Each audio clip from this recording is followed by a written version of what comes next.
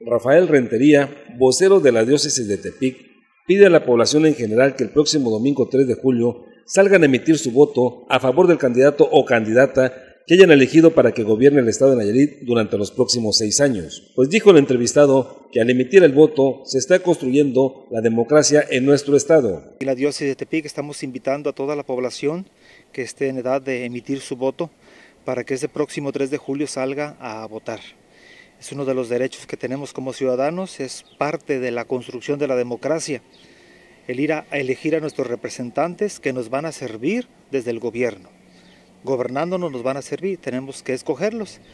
Y antes de ir a votar, a dar nuestro voto, es pensar por quién lo vamos a dar, analizar la persona, a quién se lo vamos a dar, analizar su historial, las propuestas que ha tenido antes, ver cómo han estado trabajando, qué resultados han, estado entregando y sobre todo que las propuestas que están ellos emitiendo sean propuestas que, que también sean reales.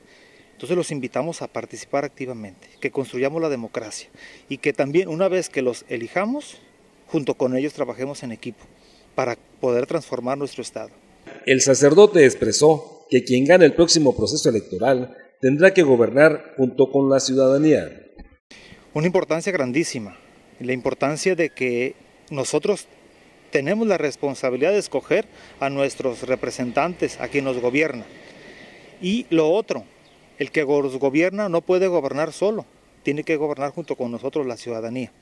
Entonces tenemos que trabajar en equipo todos, independientemente del partido político que salga ganador, tenemos que trabajar en equipo con todos.